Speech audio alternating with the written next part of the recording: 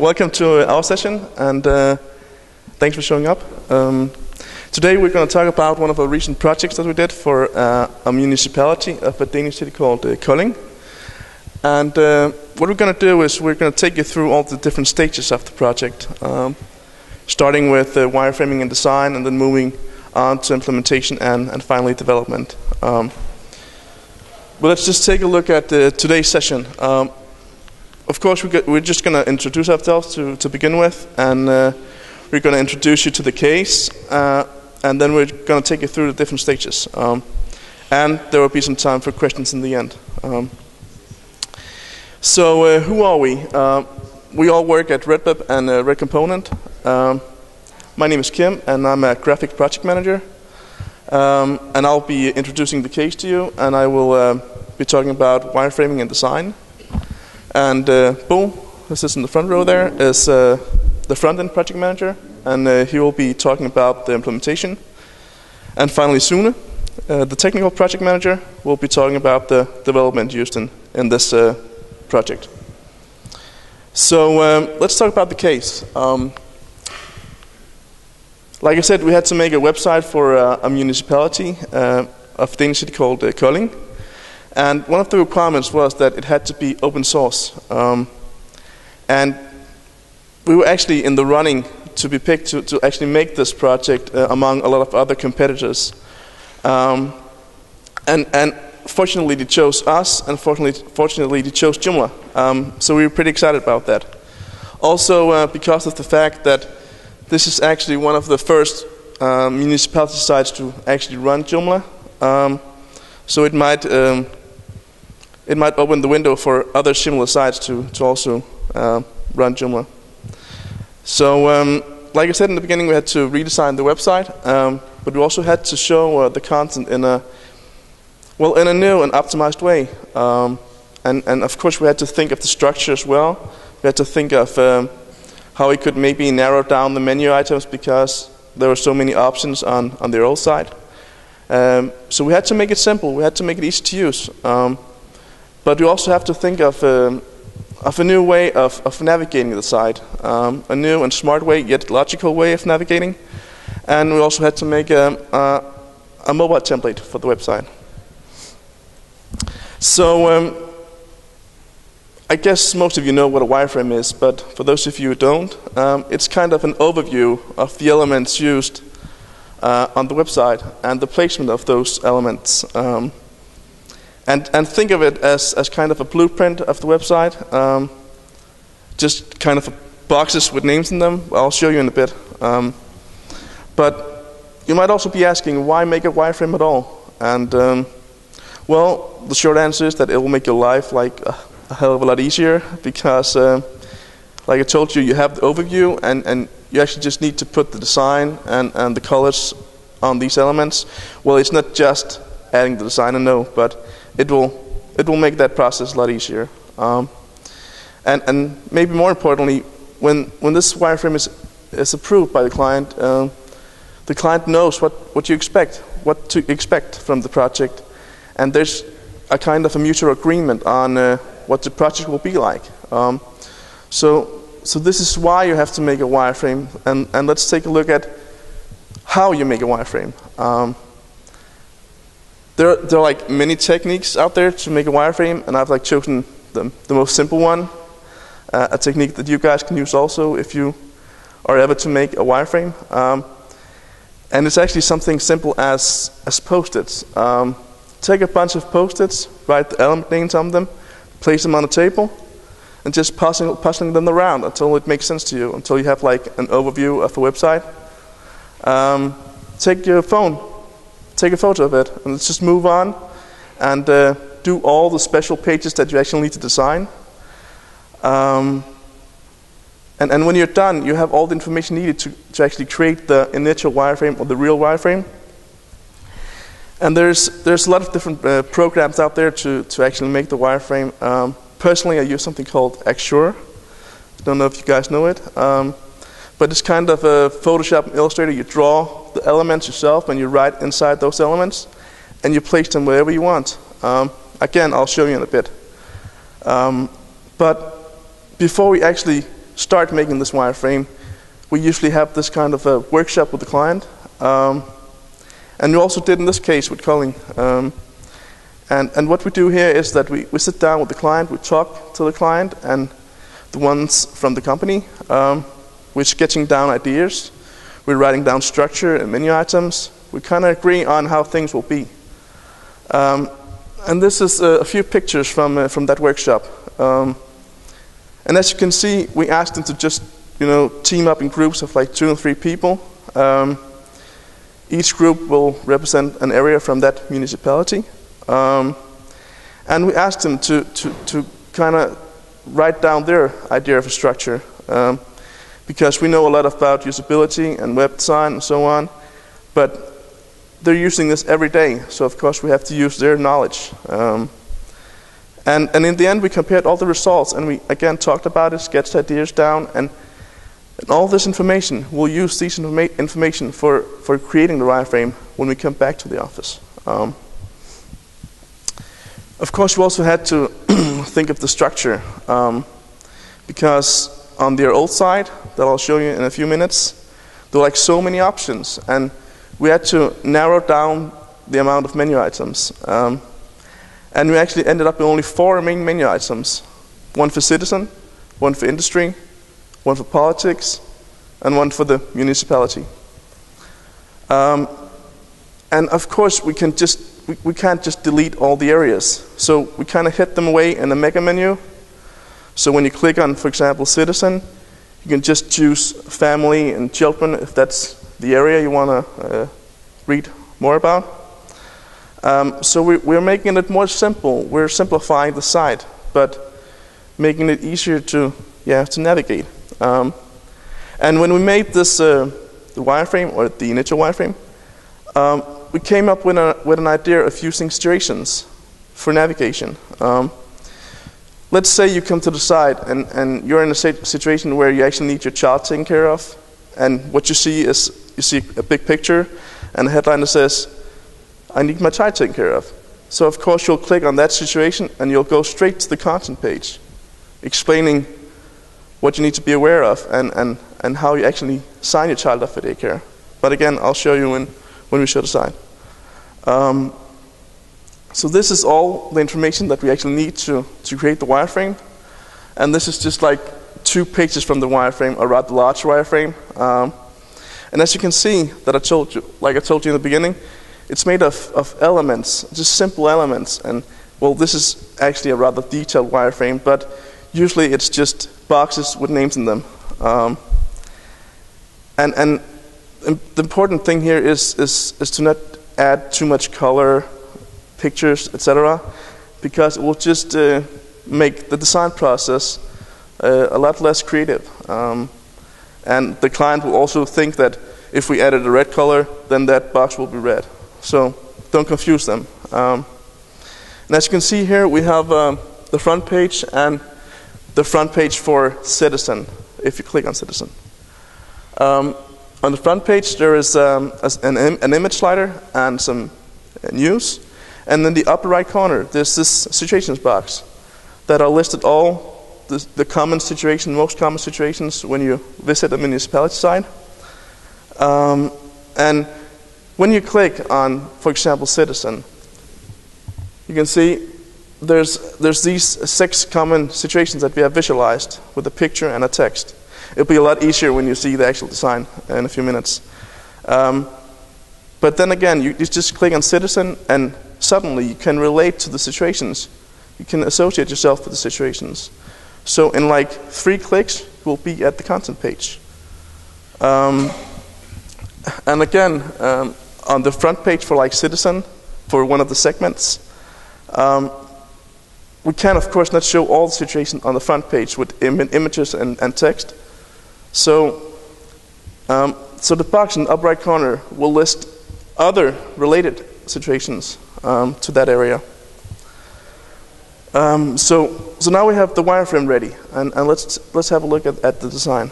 Um, and here the keywords were, I mentioned it before, it's simplicity and usability. Um, and well, the fact that it had to be different from other similar sites, other municipality sites. Because they tend to be a bit conservative, a bit uh, template-ish.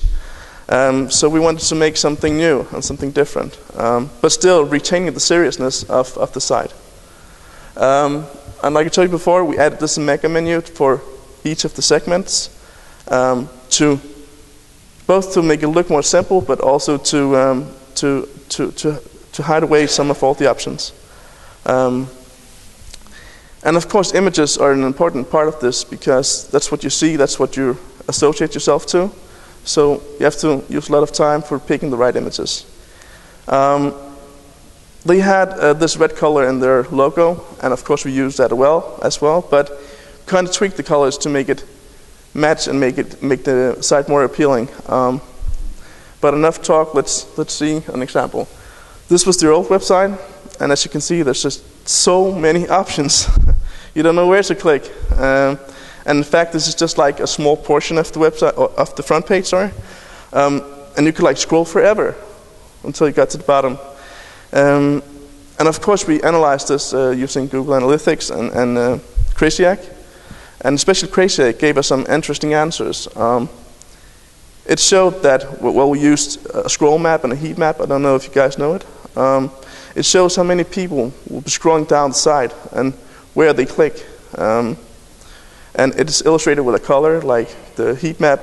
Uh, the red color is, is signaling that here, here, uh, here the people are clicking. and um, actually, it showed that they're clicking on only four or three or four of these items.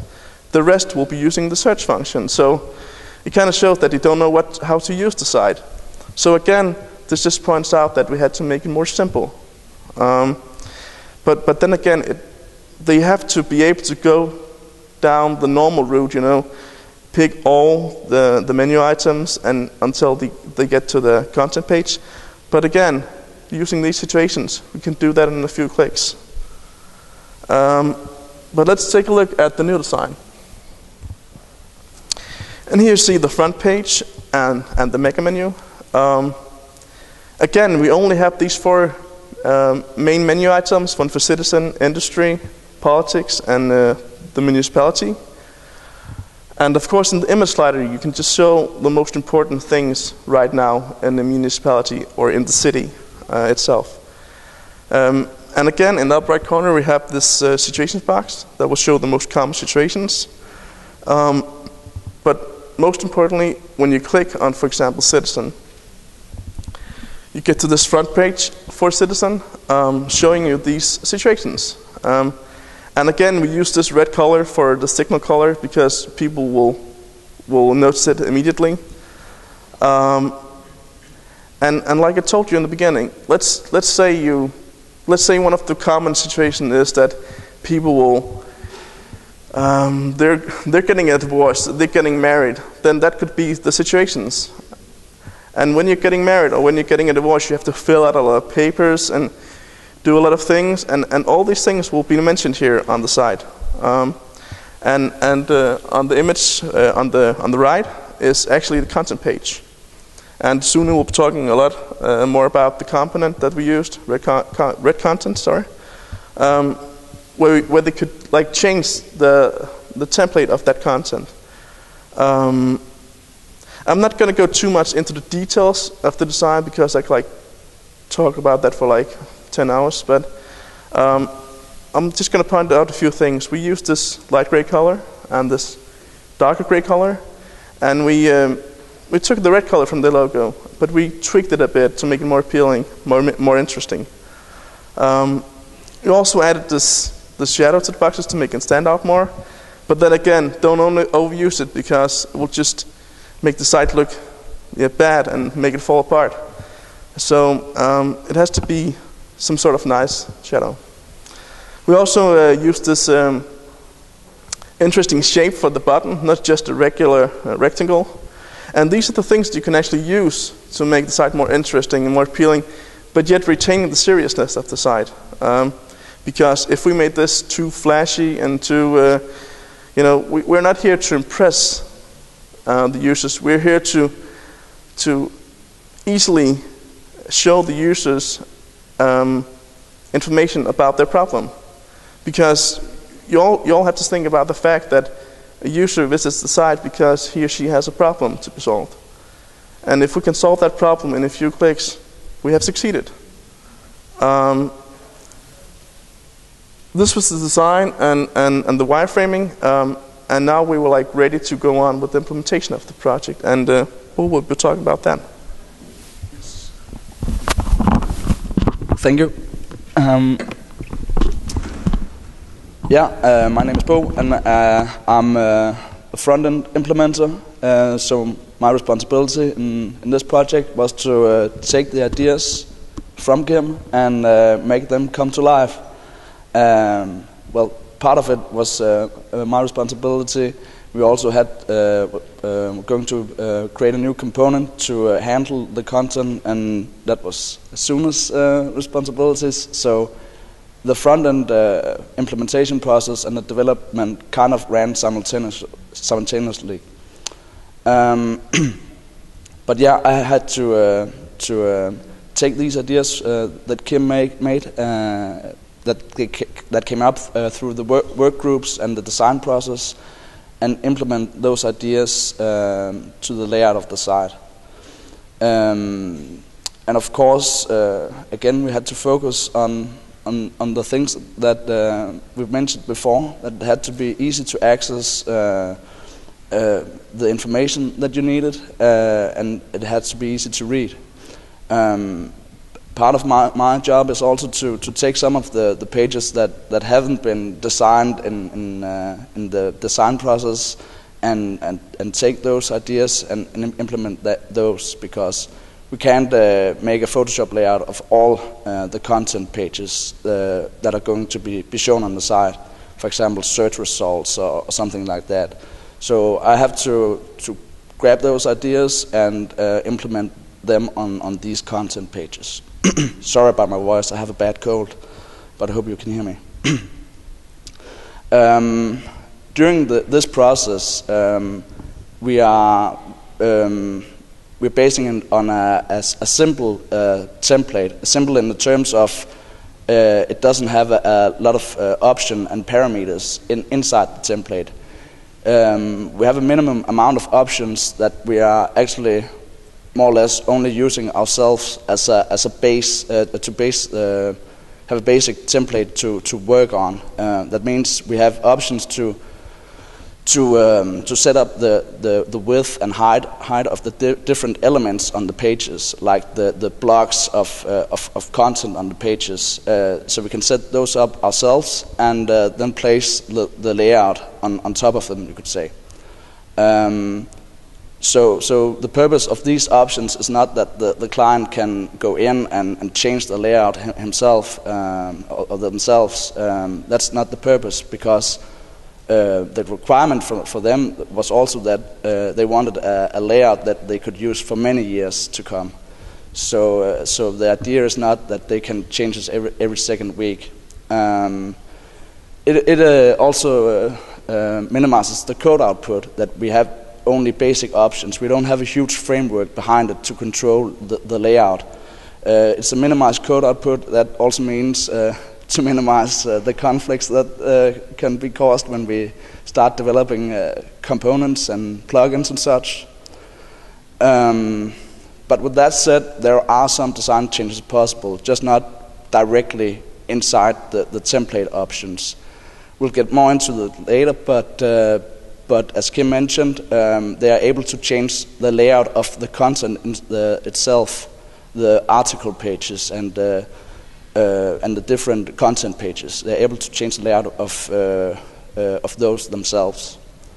We have also made it possible for them to change the, the layout of different modules that they're assigned to, to different areas, um, mainly the color scheme. So uh, if they have some box they need focus on, uh, then instead of having it uh, in the normal white color, they can change it to red by just clicking on a new layout, and then uh, an override will uh, will take uh, take care of the rest and uh, change the layout uh, and, and the, the color scheme.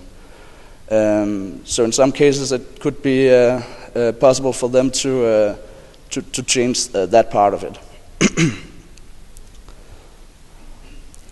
um, like all of other of our, projects, we, we are not developing all the um, the tools uh, used ourselves. We have many tools in our in our catalog, but uh, we are also dependent on, on some of uh, the other Joomla extensions out there, and, and we'll just mention a, a few of them. Uh, the mega menu that uh, Kim talked about is uh, is one called the drop-down mega menu that we're using, and for the editors, we are using a, a winner, JCE editor, which is great, and we use a lot of their plugins as well.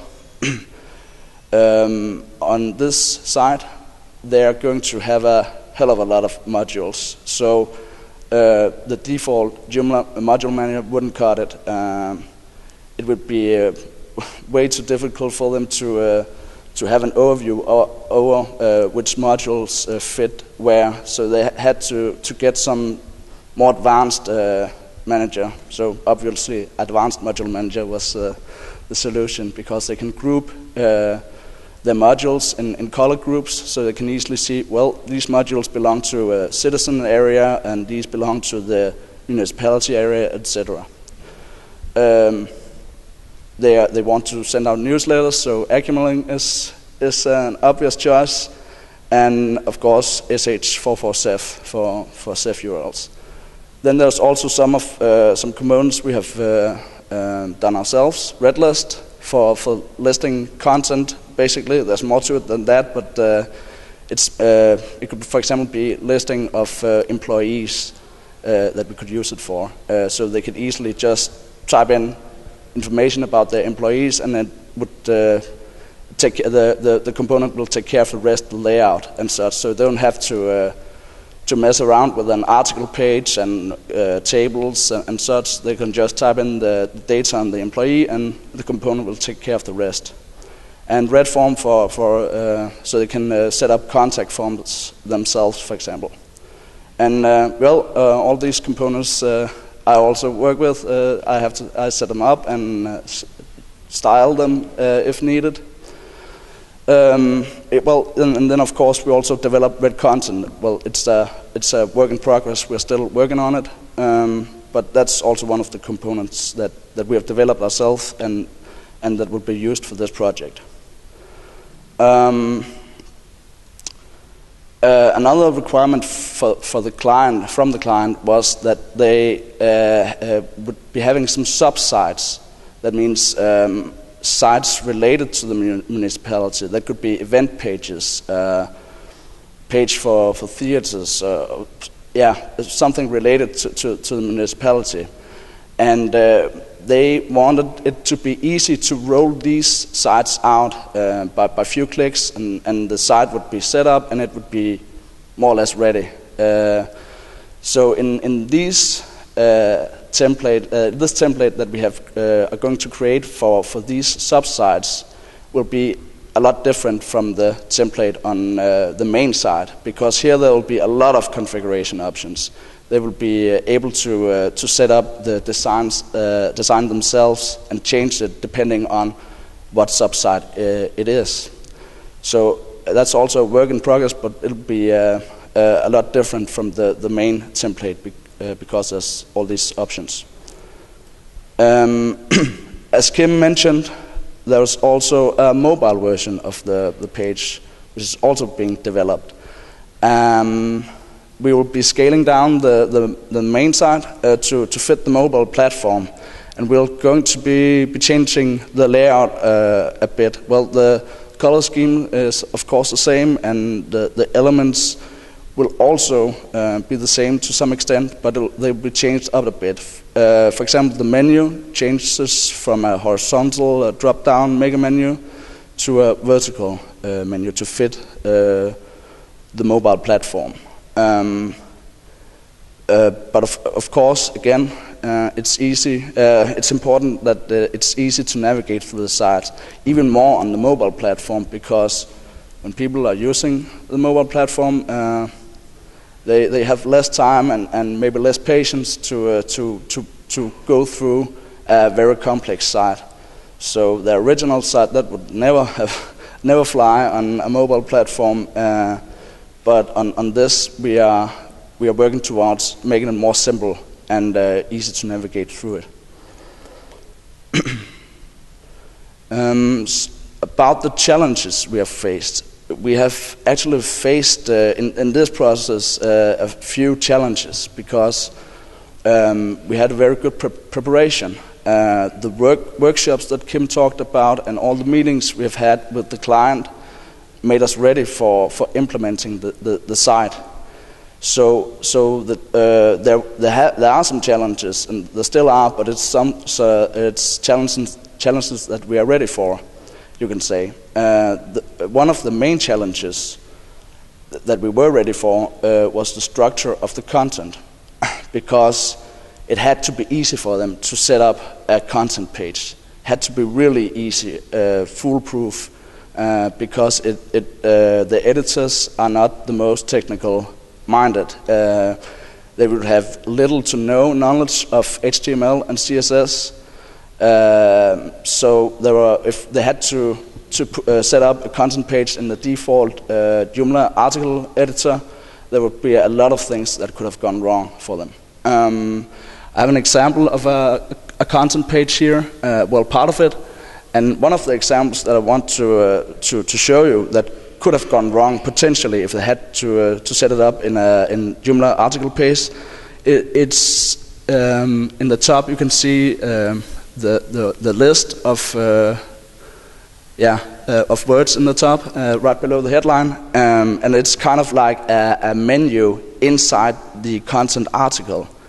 The the different headlines uh, there uh, with the bullet point in front are links to headlines in the article itself. So uh, uh, on the, the, article headings, there are anchor points, and we link down to them. Uh, and that's again Um, uh, to uh, to have easy accessibility to information. They can just uh, go into the article and say, "Hey, okay, I only need to know about this point." Click to it, and they, they'll be at the headline. But if they had to do that in a uh, Joomla article page, it would be possible, but it would be a lot of things that could go wrong for for uh, an editor who has little to no knowledge about HTML or CSS. um, so one of the, th the, things we have done is that uh, the editors and the, uh, the forms where you create the articles, they, have, they will have a minimum amount of options available. Um, so for example, um, if you have a teaser text, there will be no editor at all. Um, there will just be a text area you can type into, uh, so you can't mess that up, more or less. Um, and also, uh, these bullet points, these um, headlines, they will be uh, generated automatically uh, when you add more sections. Uh, soon we'll get more into that, uh, but it's a matter of having more sections, then there'll be created more headlines, of course. Um, so that's that's more or less this, and um, Sune he will be talking more about uh, red content and how you uh, uh, how we face that uh, challenge and developing that.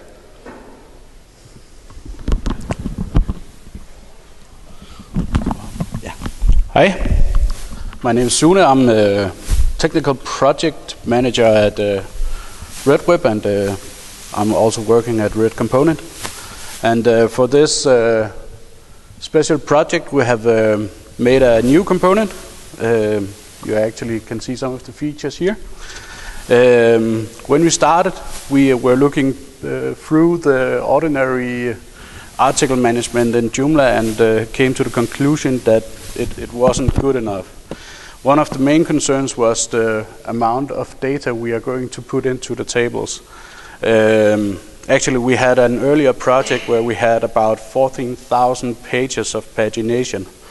And when you reach that point, some of your MySQL uh, is, uh, is breaking down and some of the tables are, well, not working. and another thing we wanted uh, was uh, control, completely control over the data flow, where we uh, retrieve the data from and where we are, uh, are putting the data into the tables. And with that comes the comfort in knowing precisely where your data is going, where uh, to retrieve from. Um, they have some requirements for this project, and we built those into the into the component from the beginning. They wanted the flexibility in the front end design, which means that we, we made a template system for them where they can tag uh, the dynamic fields into and just make a, a small CSS uh, class inside uh, the template manager. Uh, easy to navigate also in the backend because we are not dealing with all technical uh, personal persons, so we had to make a, a easy navigation and actually we made a Explore view that's kind of uh, Windows uh, navigation. I'll show you later on, on some screen dumps how it, it looked like. Um, we had to make an integration to uh, another system. Uh, have made a XML import. Uh, dynamic in content, they can uh, add fields, input fields to, uh, to the templates. Uh, to say if they want another text area, they can put in another text area in the template directly. We have um, extended the Joomla ACL management a little by uh, because they have a lot of users and they have some demands for for writers and uh, editors. Um, again, we uh, we had to make an intuitive user face. The structure of the forms we were in, in contact with the client that says, well, it's not intuitive that you have to fill out the intro text before the headlines and so. So they were in over the structure as well. Um, we have recursive categories, which means that we have unlimited categories. Uh, a category can has unlimited child categories. So it's very flexible that way. Also, they wanted to have versioning on, of the articles, which means that when you have an article and you save it, it, it makes a new version. So you can always roll back to an earlier version. And you can also see who's uh, accountable for the changes and uh, who has written the text. Um, also, we had to uh, handle this uh, load of data that's coming in um, because the, the page is, is going to be very big in, in text and articles. And of course, they wanted uh, to be able to uh, plug in videos and audio, and we use some uh, JCE extension, and uh, we have made our own for, for images. But the JCE extension has uh, a HTML5 player that's working very good, so we use that. Um, yeah, we start building the component by um, making a database structure that is a little different. Uh, we decided that when you have um, the, the the page is uh, set in four main areas. And each of these areas we call segments. And each segment, when you make a segment, it will make a, a cluster of uh, tables in the database. So you don't run into performance options or uh, crashing data, ta data tables. Um, we also wanted to make uh, CCK easy. Not that, that some of the other systems isn't easy, but we wanted it to be much more easy, also for us as as developers and for Bo to set up, um, so we know where the data is coming from and where the data is going. Um, we have made an XML import feature where you can uh, upload the XML file and map the, the data from the XML uh, tables or areas into your table so it's, it's working pretty good. And um, of course, it had to be uh, easy to expand. It has, uh, for us, to be easy to, to say, well, if you want that feature, we can easily read through the code and, and know where to insert that feature. Uh, the template system. Why did we make a template system? Why not just keep uh, front-end templates and say, well, that's what you got? Uh, they wanted to be flexible, and we want to make something that's flexible and can be used by others, not only for this one project, but also to, to release at some point and, and say, well, you can build your own templates without knowing any PHP code. So, and we do that by uh, some tags that uh, when you make your fields, your input fields, uh, you make a field code, and that field code you are using as a tag in your template. So you know that when you write that uh, tag into your template, it will retrieve the data from that input field. So Uh, the template, you only build one that uh, are used in the backend and in the front end. So in the backend, it's used to uh, define which input fields you have. If you have like 500 uh, text editors, let's say you have gone mad and built 500 uh, text editor fields, you can say I only want to use five of those in this template. And in the backend, you only get the five. And uh, you, you at the same time, you build the front-end CSS in, so with classes and so on. And uh, we made this uh, small feature that you can, if you have more than one article template, you can actually change the template at the menu point. So when you're making a new menu, you have an article with, let's say, five areas of text. You can have a template that only shows one area of text, and then you can choose that editor, that uh, template instead of the other, so you only get what that template contains. So um, then we have uh, three different kinds of templates. We have uh, article templates that's uh, for the for the page design, and then we have uh, category templates that decides which uh, data you want to be listed, uh, like in a list. And then we have segment templates that are used on an, another level. So it's a bit more tricky because you have the, the whole segment and the categories for the segment, and then you have the article. So, and uh, how we work is just a, a little talk about that, that we are uh, all working on Windows machines. Uh, we use Eclipse for uh, our environment, uh, WAMP and XAMPP uh, with Git in, in the Eclipse. And uh, of course, we use uh, servers at Red Host. Uh, in this project, we used Google Spreadsheets for the first time, where we made a sheet of small pointers that has to be done and who has done what and when it should be done. And then we shared it uh, in the development section with Bo also, so he could write in stuff uh, that he needed us to do. um, we also used TimeLog and, and Redmine time log we basically use to, to log in the time that we use on a project. So uh, it, it will be easier to guesstimate the next time uh, frame for a project.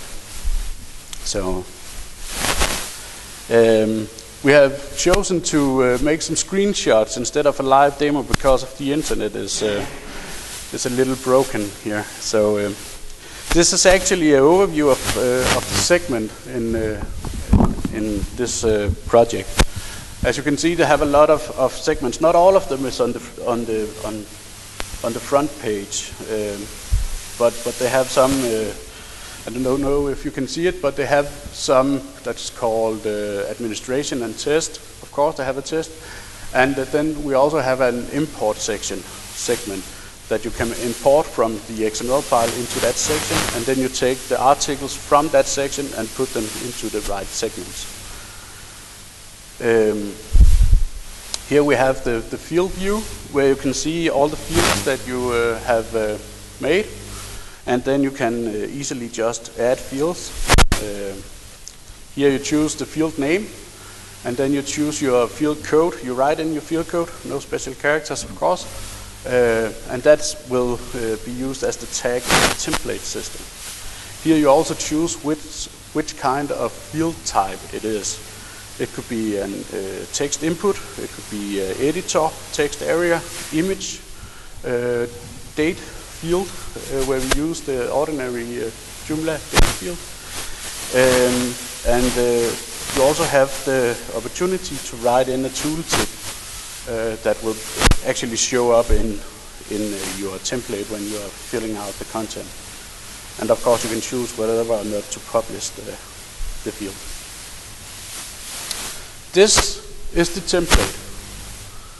It looks something like this. Of course, there is uh, over this section, there's where you write in the name.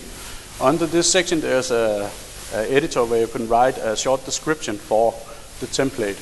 Uh, but this is what the template is built of. It builds, it's built of these small tags that, that actually are, are uh, fields in the database. So it's very easy to set up.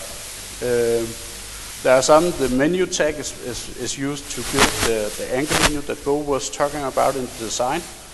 And the uh, anchor is, is used to retrieve the, the anchor points down in the text. So, uh, and uh, here you see the, the code view of that. You can see a lot of views and uh, some classes. And, uh, and Bo has, uh, has styled those uh, in a different uh, style sheet. So all the classes are in there, and uh, yeah, it's working like good. so um, then there's a, a category view where you also can see which categories are childs for other categories. You can also see the access uh, level and which template is chosen for the standard template for the category. So the category view, if you're making an menu point, and it should be this category, and you don't choose a template, it will always take the standard template. Uh, as well with articles, there are two options. You can you choose the article at the menu, and then you can choose another template. Don't choose the template, standard template. Here you can see just uh, a small form of uh, how to create a category. We choose the name and the, the segment it should be lined up under, and uh, also which category section it should be in. Um, then you choose the template, and uh, then we have some uh, access uh, ACL control. Here is the the, the, the Explorer view that we made uh, because it's, it works more familiar with people who are used to using Windows. So here you see the, the segments, and if you click on one of the segments, it will show the categories as folders. So you, you actually know that if you're putting or clicking one of the folders, you're going into that folder. And you can see there's a, a, a, a file that's not in a category, but in that category, and the other folders are in the category. So very easy to use and very intuitive for users that maybe not so technical that so maybe you should talk about the copy paste feature. Yo, yeah. we also have a, a copy paste feature. I almost forgot that. You can uh, mark the, the, the article you want to, to copy. To uh, you just mark it and you uh, push copy. Then you can go back and forth in the Explorer and even into another segment and just push the paste button and it will paste the, the copied article in there. And you can make, make that for a whole category as well. So it take uh, subcategories with it. So it's very easy to use. So, and of course you can delete stuff too. um, when you are making a new category, you have uh, the first option you get is that you need to choose your uh, segment and you need to choose your category. Um, here you see from, uh, from the Kolding case, there are templates. Uh, when you uh, reach the step, you, you choose which template to use for your article. So here you have chosen your segment, your uh, category before this step, and here you have the option to choose the template. And uh, if you choose this template, uh, you are going into a, a, view where you can start filling out the content. Uh, first, in this section, we have some mandatory fields. Uh, the, the, the article has to have a name because if it don't, doesn't have a name, we cannot list it in the overviews. Um, they wanted an uh, accountable person, uh, so you cannot publish or make an article without an accountable person in this case. And of course, you can add an image, and uh, you have the option to uh, say uh, that, that this, this article you can write comments to or, or not write comments to. So, uh, so that's an option too. And then, of course, we have uh, these uh, release date and remove date. It's so that you can release an article in a time frame. Let's say that you're working with, with a news, uh, within, with a page that's making news, and uh, you are going to re release some new news in the weekend. you can set it up and just set the, the release date to the weekend. So you can make it on a Friday, go home, and it the news will be released during the weekend. So, and uh, when you are done and you make your menu point, uh, it should be looking something like this, hopefully. um, the future of, of red content. Of course, we haven't built anything, all the things that we want into it. It needs uh, RSS option uh, to be easier. It needs uh, Bootstrap, uh, of course, and uh, we want to build in some uh, support for other extensions like maybe Funina or you said it for translation. Uh, we are working on different kind of modules uh, to display text in a in a flow where you can uh, where you can like say we have a flow of 10 articles but I want article 2 to always be in the top so if the flow will float around the articles that you put in different positions um, and of course it will be released in about 14 days we just need to tweak it a little more So, and the best part is that it's, it's going to be free and it's going to be downloadable from a Red Component. Uh, so uh, feel free to uh, download it and uh, report any bugs that you find, if, if any, and uh, email us uh, with, your, with suggestions also to make it better. I'll just say that I, I haven't made this component by myself. We are four people working on it. So uh, if you have any very technical question for some of the stuff, I might not be able to answer it, but I will leave my card so you can write me an email and uh, I will make sure that you get an answer by mail uh, for your question. And uh, feel free to ask questions about the case to Bo and Kim. And else, uh, thank you for your time. so.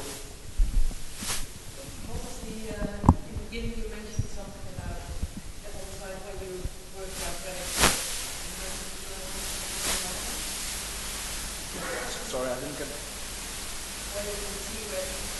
Yeah.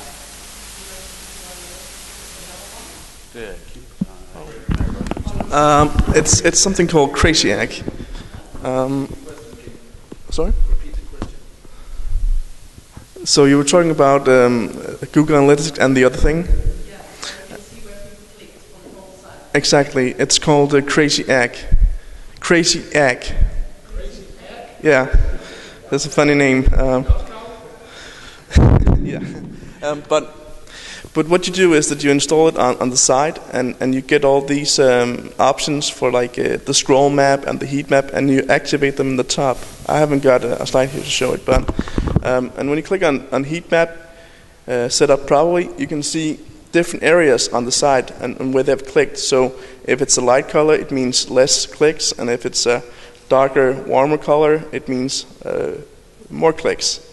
And it's a really great uh, tool, and, and, you should use it because it, it's really great for analyzing uh, uh, sites um, and not only using the stuff in Google Analytics, but actually being being able to see where they've clicked. Um, and and well, you might think that the user clicks somewhere, but often it turns out that they click somewhere else. So you need to have some um, some some information about that too. Um, and you can also um, there are, there are more options. You can also activate uh, um, something that shows you the the single clicks, and not only by color but everywhere on the side. Um, and there's some smart features. You should check it out. Um, yeah. Any other questions? What do you use for the wireframe? Uh, it's called um, Axure, A-X-U-R-E. Um, it's it, it's not an open source program. It costs money. Um, yeah, and and the, it's really really great. You can make prototypes in it too, but we use it for wireframing, and and you can you can you can you can like make a, a really simple wireframe with only like boxes in it.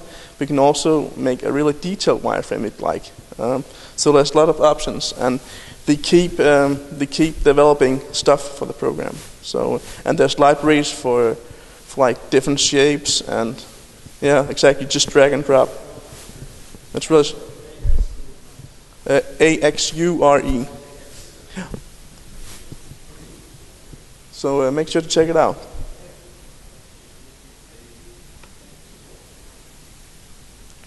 Any more questions?